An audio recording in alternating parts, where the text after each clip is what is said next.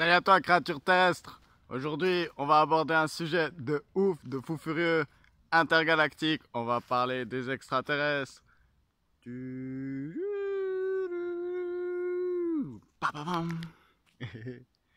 Les extraterrestres, ça c'est un sujet. C'était obligé. Ceux qui me connaissent, ils savaient que j'allais aborder ce sujet un jour ou l'autre sur cette chaîne. Ceux qui me connaissent pas, maintenant vous savez. Les extraterrestres, aïe aïe aïe. C'est un sujet qui m'a fasciné. C'est un sujet où j'ai jamais eu d'avis tranché. J'ai changé, euh, d'avis pas mal de fois dans, ma vie. Au fil des expériences, des non-expériences, des, des, choses que j'ai lues et tout. Et puis euh, je pense que je peux faire un petit point euh, de mon avis et de la situation sur les extraterrestres aujourd'hui. Sans plus attendre. Alors, les extraterrestres. Qu'est-ce qu'on parle quand on parle d'extraterrestres? Ben, de créatures qui viennent pas de la planète Terre.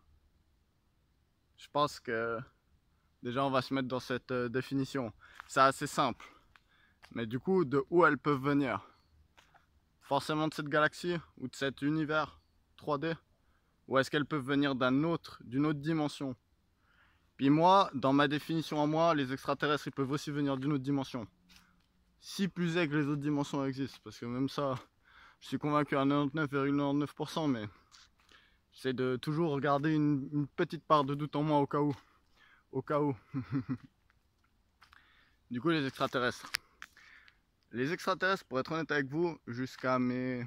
Hmm, en étant petit, c'était cool et tout, mais je crois que très vite, genre à 11 ans ou comme ça, j'étais déjà, euh, j'avais lu beaucoup de sciences, et puis j'étais déjà euh, très sûr de moi de dire... Euh, peut-être quelque part dans l'univers, il y a une forme de vie cellulaire ou j'en sais rien. Mais euh, il n'y a pas la, techno la technologie, elle est impossible pour venir jusqu'à nous parce que il y a la, la, limite de la vitesse de la lumière, puis les distances sont beaucoup trop grandes, etc. etc. Puis moi j'étais très convaincu par cette théorie. J'étais très très convaincu. Et puis c'était très euh, limitant, c'était extrêmement limitant de mon point de vue d'être humain, de singe sur cette planète.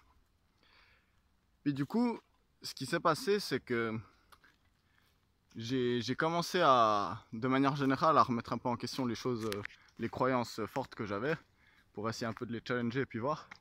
Et puis le sujet des extraterrestres, il a de, plus en plus commencé à prendre de l'importance pour moi, parce que genre, je lisais beaucoup de témoignages, des choses comme ça.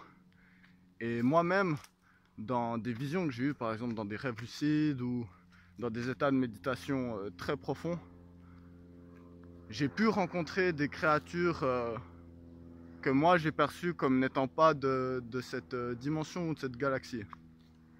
C'est mon expérience à moi. Hein. Même ça, je garde une part de doute de à quel point ça peut être des archétypes qui sortent euh, de mon, mon conscient profond et qui se manifestent au travers de visions. C'est possible. C'est possible. Moi, je suis ouvert à tout au final. Je sais pas. Moi, la seule chose que je fais, c'est partager mon point de vue et puis où j'en suis par rapport à mes expériences à moi. Du coup, j'ai commencé de plus en plus à m'intéresser à ça. Et puis de plus en plus à me dire, il y a eu un certain moment dans ma vie, il y a quelques années, où on va dire que j'en suis arrivé vraiment à un point où je me dis, s'il y a des extraterrestres qui arrivent ici, ou s'ils sont déjà parmi nous, si je découvrais ça aujourd'hui, boum, avec la preuve 100% sûre et tout, ce serait pas le truc le plus étonnant qui me soit arrivé dans ma vie. Genre vraiment pas. Donc euh, voilà, je suis vachement plus ouvert à cette idée aujourd'hui que j'aurais pu l'être euh, avant, au vu des expériences qui me sont arrivées. Et du coup, moi par exemple, j'avais jamais vu d'ovni. Ça, c'est un truc, personnellement, j'avais jamais l'expérience. Donc euh, j'ai toujours été très curieux et tout. Jusqu'à bah, ce début d'année 2020, je crois en janvier, février, mars, je sais plus quel moment exactement. Euh, j'étais au bord du lac avec mes amis, au bord du lac de là où je vis. Et en fait, euh, au large, on était un groupe comme ça. Et on était deux pointés dans la même direction le long du lac. Et en fait, on a vu 50 km, je dirais moi, les deux, une, grosse boule blanche comme ça, fixe dans le ciel, genre assez basse. C'était la journée, donc ça pouvait pas du tout être une étoile ou quelque chose comme ça. Et euh, les deux, on, le regardait pendant genre euh, vraiment un moment, on fixait le truc. Et les deux, on a un peu pointé du doigt comme ça, on a les deux un peu commencé à faire... Euh, on s'est les deux regardé un peu en mode, c'est quoi On allait dire, qu'est-ce que c'est ce truc? Et quand les deux, on a eu un peu ce geste qui était synchronisé, le truc, boum, il a disparu du ciel. Et là, les deux, et là, c'était la certitude que genre, euh, c'est ces moments qui sont vraiment très intéressants.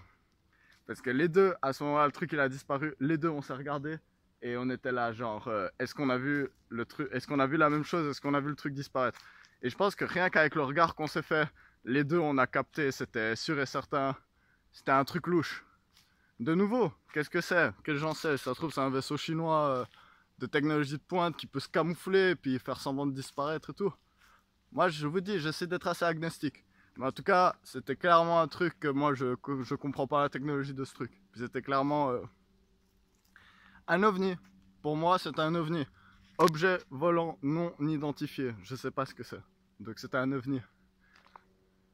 Puis cette année, il y a énormément, énormément de... Depuis les années 50 de toute façon, et puis depuis bien avant, si on regarde euh, les dessins que certaines civilisations elles, faisaient, euh, elles faisaient euh, de manière très importante et qu'elles vénéraient. Il y a des reports d'ovnis, il y a des reports de gens qui, qui se font enlever, que ce soit dans cette dimension ou peut-être dans une dimension de rêve, mais qu'ils le vivent vraiment 100% réellement. Il y a de plus en plus de reports là-dessus de plus en plus, de plus en plus. Et franchement, cette année, il y a une nouvelle. Alors celle-là, franchement, moi, je vous le dis, je comprends pas pourquoi cette nouvelle, elle fait pas plus de... Un peu de... Désolé. cette nouvelle, je comprends pas pourquoi elle fait pas plus de bruit. Je comprends pas. Il y a le Pentagone qui a officialisé que des pilotes d'avions de chasse avaient pris en pourchasse des objets volants non identifiés qui avait un comportement extrêmement bizarre et ils ont confirmé le report officiel du Pentagone et je crois que la Russie a quelque chose de similaire. Ils ont confirmé que ces appareils n'étaient pas terriens, qu'ils ne pouvaient pas être d'une technologie terrienne. après, quand on regarde euh, quelqu'un comme Bob Lazar, qui aurait travaillé sur, sur un ancien vaisseau spatial qui se serait euh, écrasé, et il aurait travaillé dans la zone 51 là-dessus, dans les années 80, il y a beaucoup d'interviews de, ce gars. Pour être honnête avec vous, Bob Lazar, j'ai un petit côté quand même. Hein. Moi, je, moi, je suis honnête avec vous. Bob Lazar, c'est autant un gars qui me passionne, qui lance beaucoup d'idées, et puis tu te dis, waouh, peut-être il y a plein de choses qu'on connaît pas et tout. Et en même temps, il a pas mal de trucs. je pense qu'il y a de la vérité dans ce qu'il dit. Mais je peux pas m'empêcher de me dire, dans le comportement, le langage verbal, tout ça, quand même un petit truc louche. Donc je suis pas à 100% derrière Bob Lazar ou d'ailleurs beaucoup d'ufologues qui disent des trucs. Il y en a beaucoup. Il y en a beaucoup. Il y a le, chanteur là de Blink 182, euh, je sais même plus le nom. Mais euh, Tom DeLonge, quoi. Je, crois qu'il s'appelle Tom DeLonge. Lui, il me semble qu'il est aussi euh, dans un Joe Rogan. Il parle vraiment de théories hyper hyper perchées sur les extraterrestres. Alors pour ce qui est euh, de la fiction, moi je vous conseille d'écouter parce que c'est super intéressant. Comment en fait les dieux grecs qui représenteraient justement euh, des informations que les extraterrestres auraient données, puis qu'il y aurait eu plein de trucs.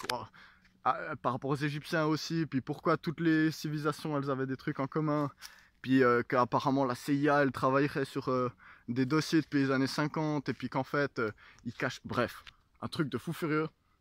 Alors regardez ça avec du recul, hein avec du recul, c'est clair. Mais quand même, c'est des trucs, ça, tu te dis, waouh, quand même, il y, a un truc intéressant. juste pour stimuler l'imagination. Et puis pareil, ouvrir une porte et dire, ah ouais, peut-être c'est vrai, peut-être c'est vrai.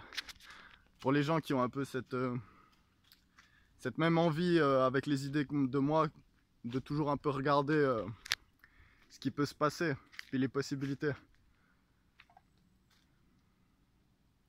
Du coup, extraterrestre, est-ce qu'ils sont en contact avec nous? Est-ce qu'ils sont déjà là? Est-ce qu'ils nous visitent dans des rêves ou dans des états de transe ou de méditation profonde? Est-ce qu'ils sont là depuis très longtemps? Est-ce que... Est-ce que... Est-ce que... Plein de questions. Plein de questions. Moi, franchement, aujourd'hui, je suis vraiment en mode... Euh, j'attends de voir. J'attends de voir. Moi, je pense que je peux pas faire grand-chose euh, sur le sujet. J'attends de voir. Moi, je suis, très curieux. J'aimerais beaucoup voir... Euh, l'impact que ça aurait, ben pour l'instant, euh, je sais pas, il y a déjà des vidéos. Ah ouais, quand même, je vais vous dire un truc. C'est aussi possible, ça c'est une théorie que j'ai dans ma tête. Hein. C'est aussi possible que le Pentagone et puis d'autres trucs, ils, utilisent ils disent comme ça maintenant, ouais, les extraterrestres, ils sont vrais pour créer un état de trouble. Pour euh, je ne sais quelle raison, mais ça a déjà été fait, hein, vouloir créer des états de trouble généraux dans la société. Donc c'est une possibilité aussi.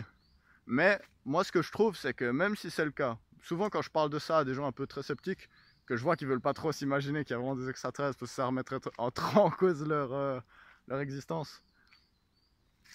Je pense que souvent ils sont là, ouais mais c'est un leurre, c'est pour faire genre et tout, euh, c'est pour distraire.